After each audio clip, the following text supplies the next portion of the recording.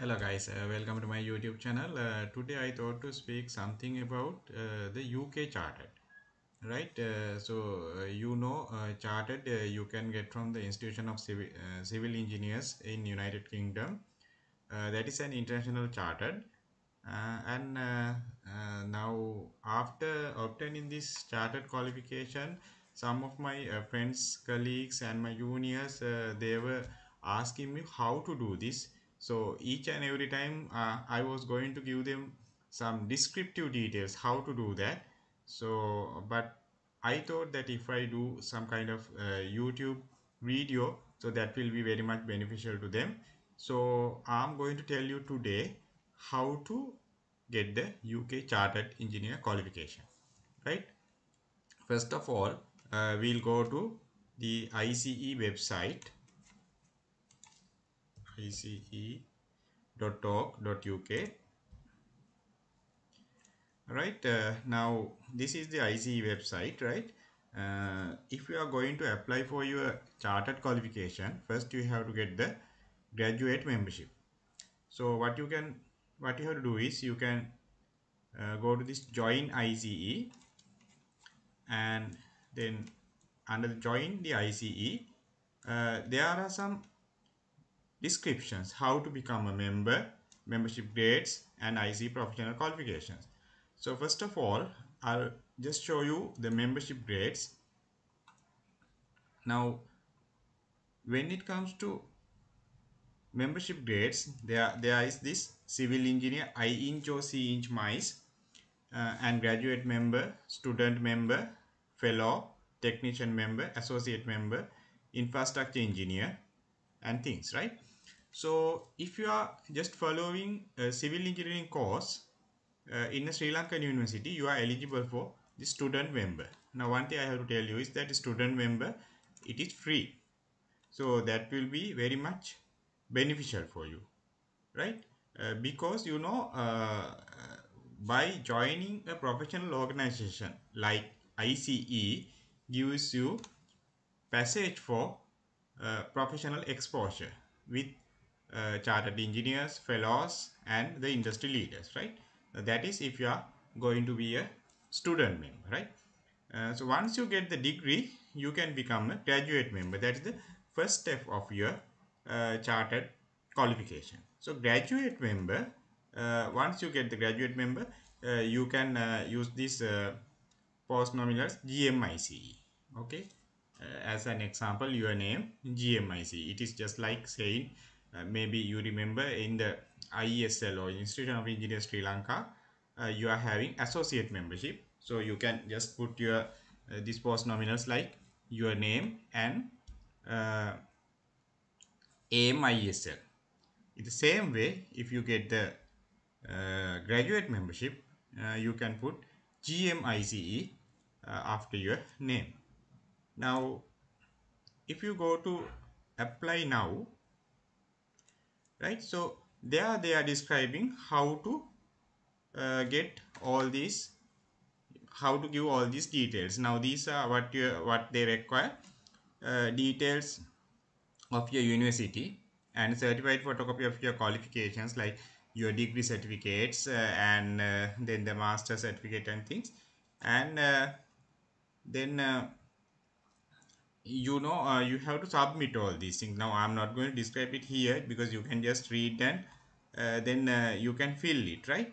And then you have to make the payment and you can get the graduate membership. After getting the graduate membership of course uh, you can go to uh, become chartered. Okay? So that is membership right? That is membership. Now as an example that is civil engineer IEng and CEng now one thing you have to understand is you know in Sri Lanka, when it comes to uh, this incorporated engineer, the IESL or the Institution of Engineers Sri Lanka uh, does not offer this qualification. The incorporated engineers, if you want to become an incorporated engineer, the, uh, you have to have uh, like uh, you have to register uh, with the Institution of Incorporated Engineers Sri Lanka there are two organizations here in Sri Lanka that is Institution of Engineers that is for graduates and Institution of Incorporated Engineers that is for uh, diploma holders, right? But in uh, UK, in most of the cases, the same institution is offering uh, these two qualifications, IEng and uh, CEng, right? Uh, so when it comes to CEng, uh, now uh, it is for these people already an experienced civil engineer looking to take your career to the next level, professionally qualified with another institution in the UK or internationally, just starting out in the industry. But anyway, uh, what you can do is uh, to get the chartered engineer qualification, at least I think you have to have at least three years experience in the field. So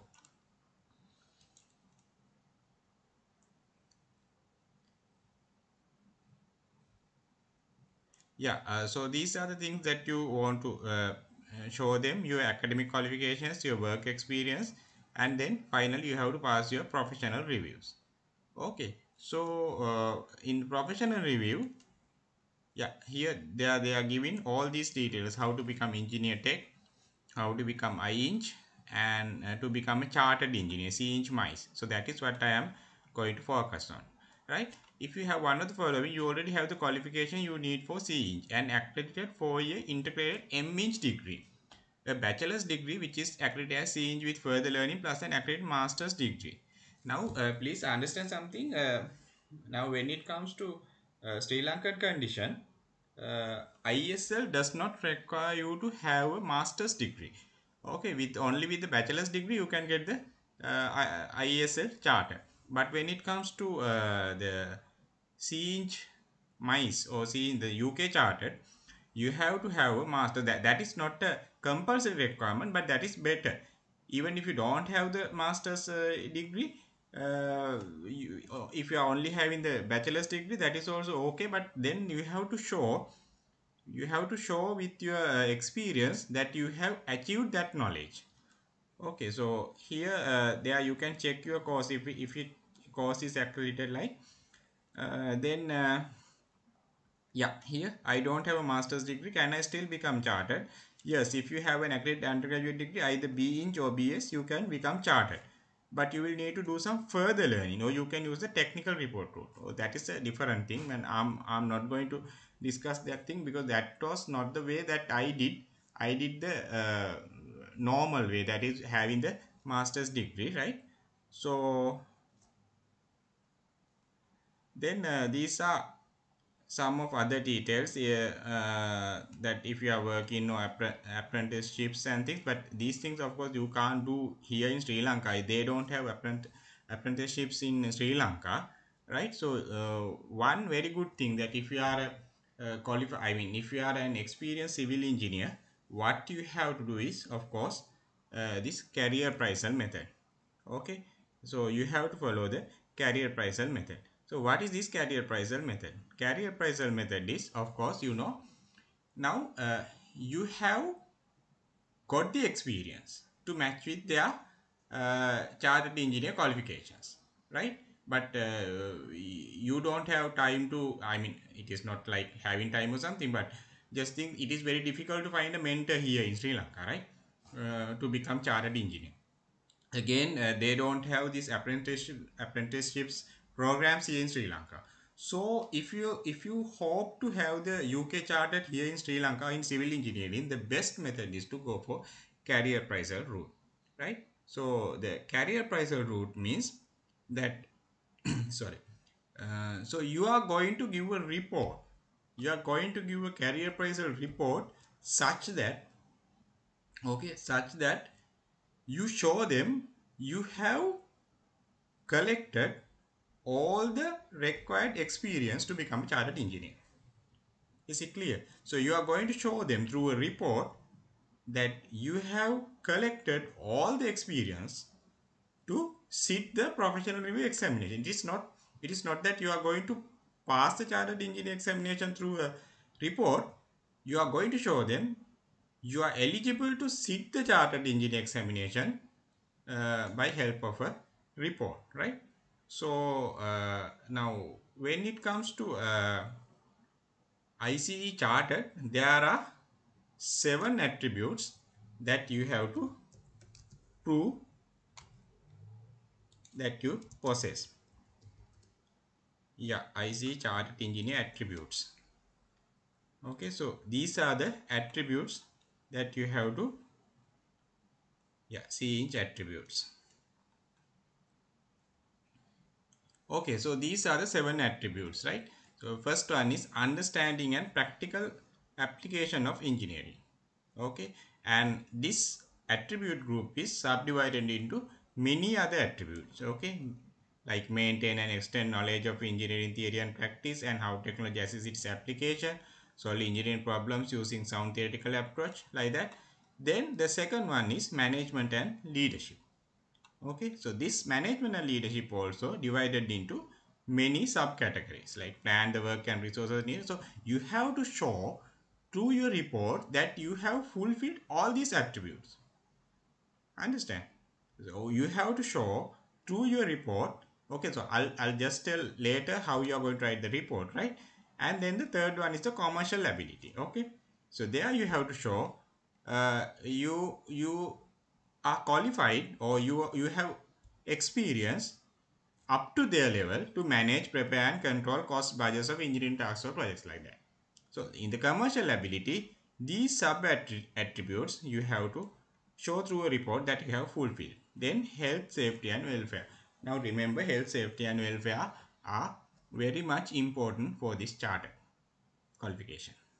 Okay, so uh, they pay extra attention on this health, safety and welfare. Now, please understand that I can't say they pay extra attention because all the seven attributes are equally important, right? But anyway, now you know uh, if you have if you have uh, fulfilled all other attributes but you did don't have uh, fulfilled this attribute then you are not going to pass the exam okay so sustainable development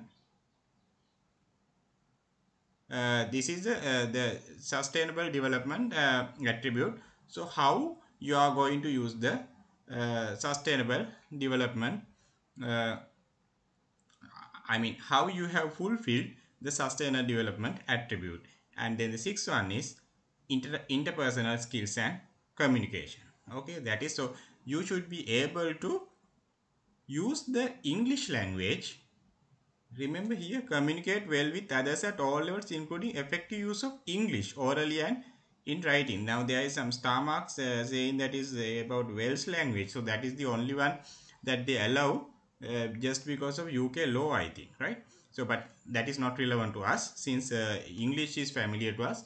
We should be able to communicate well with others at all levels, including effective use of English. So you have to show them to the report and then later they are having uh, after the professional review examination they are having another uh, exam called uh, the there is an there is a communication assessment right?